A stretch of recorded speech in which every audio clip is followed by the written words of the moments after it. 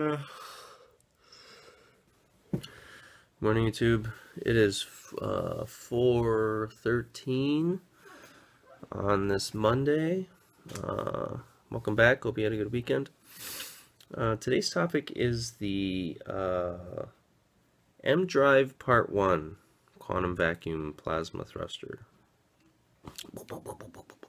Way too early for That Higgs chromosome space, the electrons, light, the magnetism of particles, the momentum, the receptors, radiation our mathematics. a solution, asteroid. What am I doing up? Um, so today, uh, today's topic is the EmDrive, and um, I decided to split this into two. So today we'll talk about EmDrive part one. Tomorrow we'll talk about EmDrive part two. Uh, the EmDrive. What is the EmDrive? Um, if you recall in a previous episode, uh, quantum vacuum plasma thrusters. Uh, the EmDrive is a new thruster uh, and the way thrusters work, uh, you have a propellant that you shoot out of a nozzle. By shooting out the propellant, you move forward the drive or the vehicle that your engine is attached to. Uh, you can either burn chemical, and then you know those get thrusted out of the nozzle, or you can use electromagnetics, um, either uh, a magnetic field to push out propellants or um, uh, in this case, you use microwaves. Um, the EmDrive shoots microwaves to push on particles, and as the particles leave, your your EmDrive moves forward. So the difference between the EmDrive and a typical um, thruster is that uh, the particles that you shoot out uh, pop in and out of existence. So they pop in and out of existence out of the quantum vacuum. Uh, so particles will pop into existence. The microwaves push on them. Those particles then get propelled and then they pop out of existence. So your engine moves forward. Um, because you're using particles that pop into existence, you don't have to store propellant and because those same particles pop out of existence, um, your your EmDrive really doesn't have a nozzle. It's it's more like a box uh, that's contained. Uh, and so this has caused a lot of controversy because you know to to satisfy conservation of, of mass and conservation of momentum, uh, because you're not shooting anything out, you shouldn't have any forward motion. Um, and so, you know, a lot of scientists are like, well, wait a second, no, no, no. You go back to the drawing board, your, your mathematics, your physics doesn't work here. Well, um, NASA has been tinkering with this, and in the past, uh, we talked about how they, they set up the test and they verified the setup, uh, and they looked at the previous versions of the test and verified those setups, but they hadn't yet really done much with it.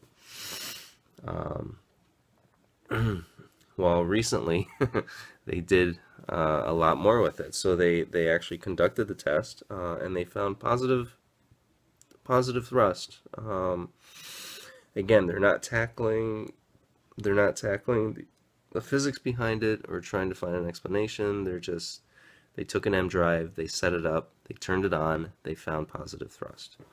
Uh, and this time they did it in a vacuum, so um, you know in the past they they thought, well, maybe you know maybe you're seeing some kind of positive thrust because you're you're manipulating the the air molecules and the air molecules are doing something. Well, in a vacuum you don't have your air molecules, so now there there uh, there's more with this test, there's more um, substantiation of this EmDrive, which is really kind of exciting, actually.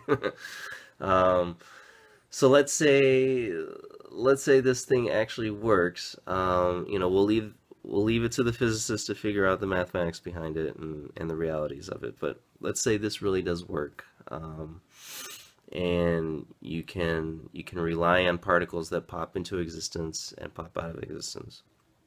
That means you don't have to carry any propellant, uh, which means that your engines and your vehicles are a lot smaller.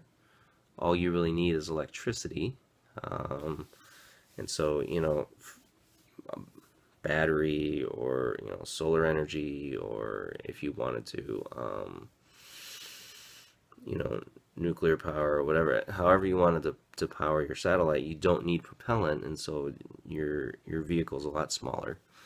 Um, you know doing the math if if you have an engine that continually kicks out see currently with propellant engines you you kick out to give you your uh, your velocity and then you stop because otherwise you're going to run out of propellant.